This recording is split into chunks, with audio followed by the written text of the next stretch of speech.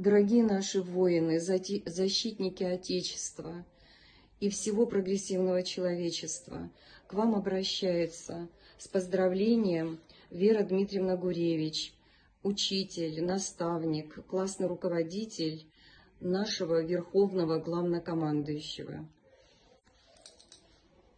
Дорогие наши защитники, сердечно поздравляю вас с Новым годом.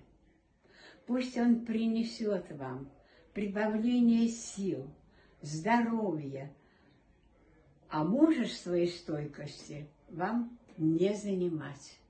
Мы надеемся, что все военные действия в ближайшем будущем прекратятся, и вы с победой возвратитесь в ваши семьи. Честь вам и слава! Еще раз с Новым годом, с мирным годом! Будьте все счастливы и здоровы, берегите себя!